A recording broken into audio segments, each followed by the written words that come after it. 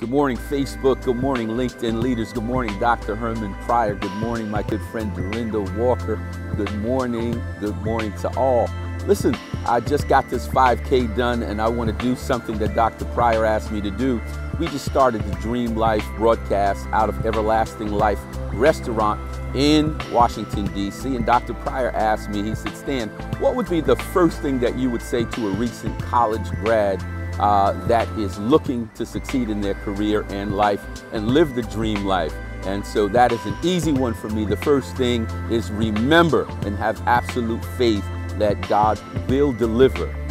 That in the Bible, in the book of John, there is a verse that says, Beloved, I pray that you prosper in all things and be of good health, even as your soul prospers.